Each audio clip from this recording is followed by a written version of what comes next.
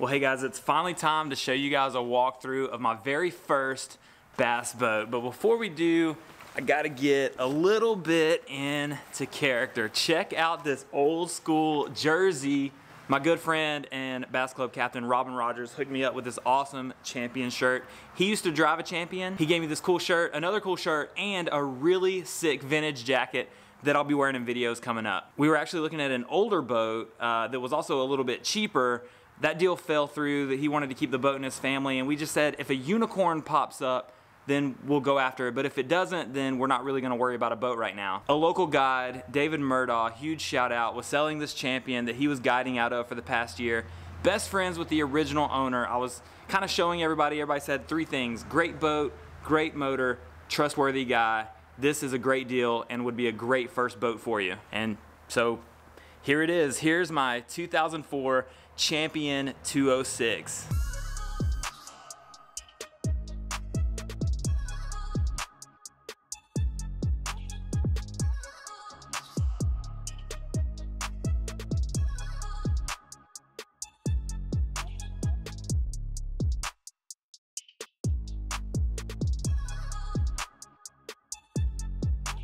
One last thing before we jump into the walkthroughs. If, if you don't know anything about Champion like I didn't, they actually ended up being bought out by Ranger, but the Champion hull is very sought after. Everyone says this is one of the smoothest riding boats in rough water. The guys from Tactical Bassin uh, drive Champions as well. Fun story, the first time I was putting gas in it, uh, I had my hair back in a bun under a hat and a guy walks up and goes, excuse me, and I turned around, he said, oh, my bad. I saw the champion, I saw the hair. I thought you might be one of the guys from Tactical Bassin. Like I said, guys, this is my very first bass boat, and I'm so thankful and excited to have it. Let's go through the whole boat, show you guys everything that I know about it. And if you got some cool tips and tricks, leave them down in the comments.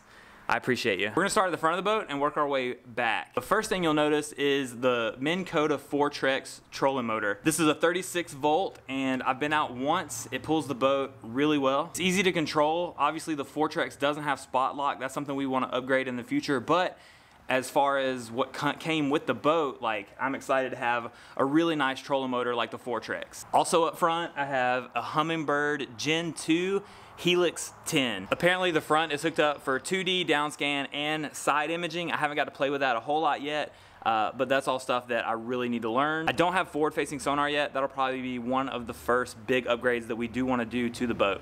So real quick, uh, behind the Helix uh, are my trim and nav light switches. They're out of the way, they're easy to get to, and there's plenty of room up here if we wanted to add another graft with forward-facing sonar. I keep saying graft, but y'all know I mean graph. One thing that we have to talk about too is just how much room is on the front of this Champion 206. Um, I hear the 203 is a, a better riding boat, but then the 206 has the bigger deck. And honestly, I love having this much space, not just for me and my rods, but if I have a co-angler or my wife or, you know, a cameraman on here with me, uh, they can jump up here um, and be part of the action. I mean, this thing is huge. Also, another little thing I didn't point out is these upgraded, like these rod buckles. They're the really nice uh, straps. They're not those little flimsy straps. And that, you know, it's just small things like that that mean a lot. Another cool thing about this Champion is that it came with the locker bar installed. Like that was something Champion did from the factory. And so just a little bit extra security uh, when I'm away from my boat. The lighting outside today is really weird, but we're gonna start with the rod locker and kind of show you guys the space and what I have in there. All right, y'all, the storage starts way back here. You got like room for some extra stuff. Um, I've got an extra light in there. And then you've got these awesome little brackets that help keep your rods separated. I've got 10 rods in there. Eight of them are combos. Two of them are just uh, rods without reels on them. And you've got these little uh, slots in the front as little channels. Uh, I've got a seven and a half rod in here easily. It would fit up to an eight with no problem. I know on a lot of these boat tours, guys have like 20, 30 rods in there and you can take some of this stuff out and make more room. But um, this is these are all the rods that I have um, that aren't broken. And so I as I get more stuff, I have plenty of room to grow, but for now, I have everything I need in the rod locker. What do you guys think? Do y'all recommend taking out these little organizational things or leaving them in? Um, I know that you really want to have these rod socks on your rods uh, going up in there so that you don't break your eyes off. I know that's super important, but as far as the little organizational thing goes, you, you guys recommend taking that out or leaving it in? All right, here we go. Center storage. plenty of room considering I don't really have a whole lot of stuff yet. All right, there we go. Had to fix the exposure. But you can see like this is almost all of my stuff. Um, it's just a big open space. And so I've got my Plano boxes at the bottom. I'm gonna get more but is there a good way to put like some dividers in here uh, to kind of help them stand up straight or, or something? There's got to be a better way. Because right now, just kind of digging through, I know is not going to be the play, especially when we're fishing tournaments and we're in a hurry. And moving on to the right side, this is in front of the driver's seat. Uh, it's just an extra storage area. Right now, I've got my life jackets, my wife's life jacket, a throwable, my extra stuff. I actually went and picked up a new scale and new cull tags after uh, winning money in the district fish off. Uh, right now I'm still using my hog trough from when I was a kayak angler, but uh, my net, my locker bar, and my um, big light for the back are all in here. I know a lot of people use this as extra tackle storage, so I'm thinking I can do hard baits in here in my Plano boxes and then have some way to organize all of my soft plastics um, over here. But I also have this spot, which is a cooler. Um, also, some champions don't have this uh, extra spot. I love it because it's a step up to the front. Um, but it's a cooler. Let me go ahead and adjust the light here. It's a cooler, but David, the guy I bought the boat from, was telling me that he just used this as storage, and I'll show you why in a minute. But right now I've got my rope and whistle in there, and then a trash bag. Um, but I definitely plan on putting like on tournament day my scale, my pliers, because I don't have a good spot to put those. That's a question I'll ask you later. Um, just some extra storage in this little spot up front. But I'm gonna get out here and get wide and show you guys all of the storage that we have up front. like I said, if you guys have any recommendations for how to make this um, as efficient as possible, please let me know. All right, guys, we're here in the passenger seat, and one thing that I'm excited about is that it is a dual console, and everybody says that my wife is gonna love this boat because it's one of the smoothest riding hulls ever, but also that dual console is gonna keep her a little bit more comfortable. And it, it was pretty chilly out there on our first ride, but uh, I told her, imagine not having that console and just the wind blasting you, and she was very thankful for it. Uh, we have a great ramp right here with this buckle uh, for any co-angler um, to strap their rods in. I'll put some B-roll over right now of uh, there's actually a spot underneath for uh, your rod butts to sit. You have a cup holder and everything like that, along with uh, two grab handles uh, in case we go too fast. And we have this awesome console which has a radio in it, and there are two speakers on the boat.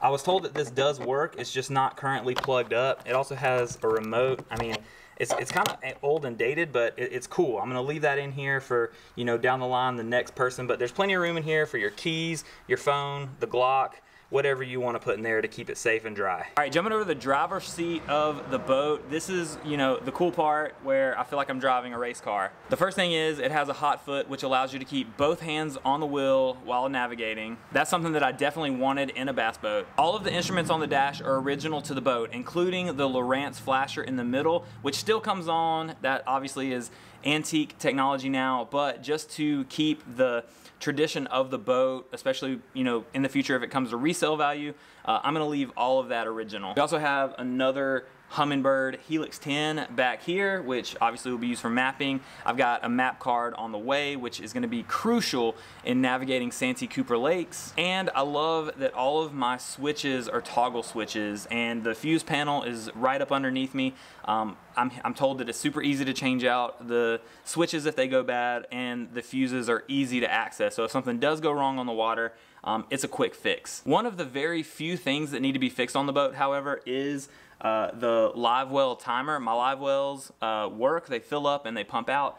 Uh, but the timer is on a little dial, um, and apparently that box doesn't work. And so it's about a $100 fix. I got a couple guys looking for me. Once we find that, that'll be fixed, no problem. All right, one thing real quick before I move to the back of the boat is we have this center seat that folds down, and you've got your cup holders. Uh, but that part actually broke off.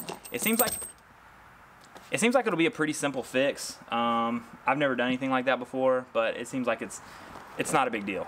Okay, the biggest part of the back of the boat is that it's powered by this Yamaha VMAX 250, and I would have been happy with a 200, a 225. Really, I'd have been happy with anything on my first bass boat, but have a 250 and know I can get across the lake, across the river, um, really as fast as I need to. I'm told this boat will go 70.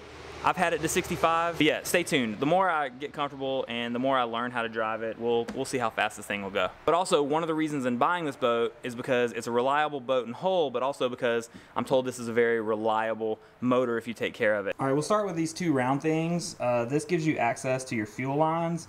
This is some kind of weird base where the seat goes in, and I have the seats I'm told they don't fit in perfectly, but with like a cloth over it, it it's fine. That's not something that I'll use very often anyway, um, but that's what that big plate is right there. And then this, I think, is the original Lowrance puck. That doesn't work, but they didn't want to bring pull it out because they didn't want to leave any holes in the carpet, so I'm just going to leave that there as well.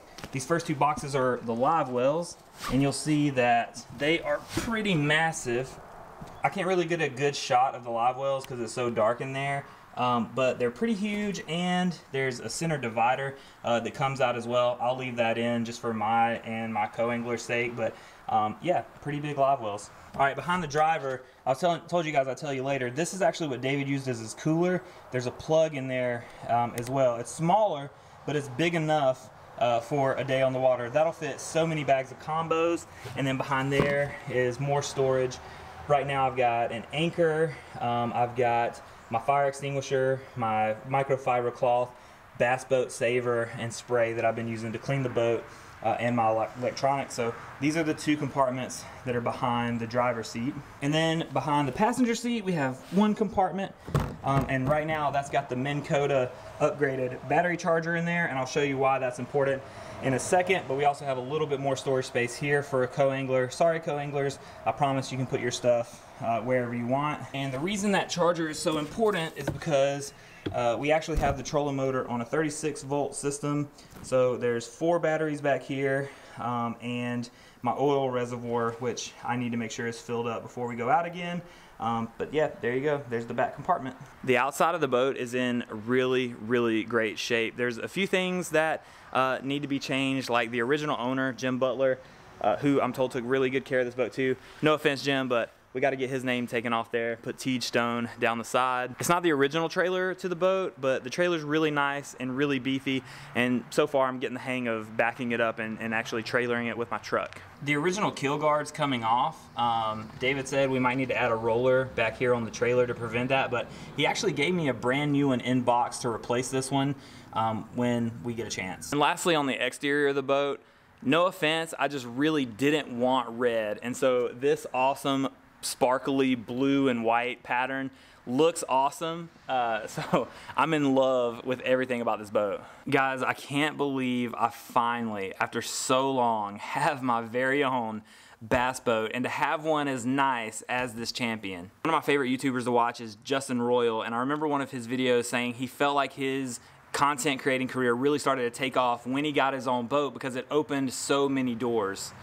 And you guys know my goal, getting better at tournament fishing, traveling and fishing more water. And now all of that is slowly becoming more and more accessible. So I'm so pumped about where this content can go. So thank you to everyone in the process. David for giving me a good deal on the boat, all my homies for telling me that it's a really great deal, my wife for saying, hey, this boat might be a unicorn, we should probably get it. So if you're new here and this is the first video of mine that you've clicked on, I'd ask you, hit subscribe, man. It would mean a lot to me if you came along this journey with me as I become a better bass angler. And I can honestly tell you that the best is yet to come here on this channel. Next video coming your way should be a tournament video I'm shooting with Rob this weekend. But trust me, we're going to get the champion out very, very soon. In fact, in uh, a little bit over a week, uh, we'll be fishing our first tournament out of it. But until then, guys, I'll see you very soon on the next one.